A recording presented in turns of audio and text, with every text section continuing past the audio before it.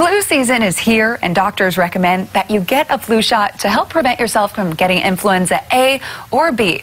But what's the difference between the two? Well, here with what you need to know on the flu is infection prevent preventionist Chloe Hamilton. Good morning, Chloe. Good morning. All right, so the Centers for Disease Control reported that the main flu virus this season is influenza B.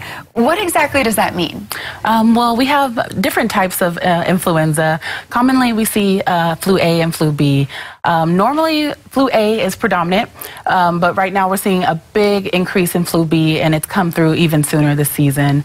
Um, flu B tends to affect children um, a lot harder, and um, nationwide we've seen a total of 39 um, pediatric deaths, and 28 of those were related to flu B.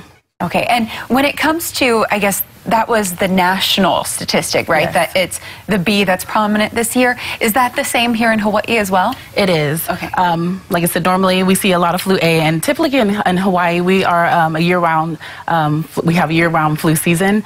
Um, flu A more so in the winter months, and then flu B in the summer uh, months. But flu B came a lot sooner this year. Interesting. And do they know why that is?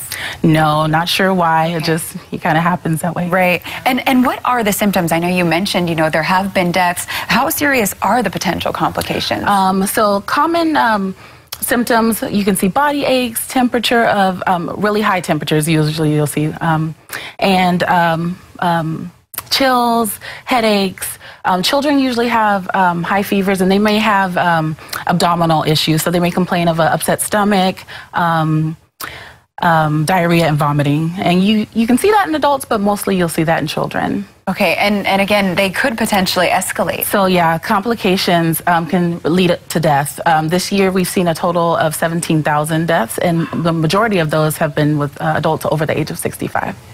So at what point, I mean, obviously it's very serious. And I think a lot of people, when they think flu, it's like, oh, something you can get over. But again, it can turn into something a lot worse. At what point do you know you should go to the ER? So if you start having confusion, um, seizures, um, temperatures for children above 104, uh, you really want to go and uh, take um, your family member to the ER because it could be uh, a matter of life or death. Mm -hmm.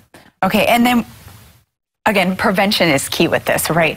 But is it too late to get the vaccine already? It is never too late to okay. get the vaccine. It's actually recommended if you um, have already had the flu this season to still go and get the flu vaccine.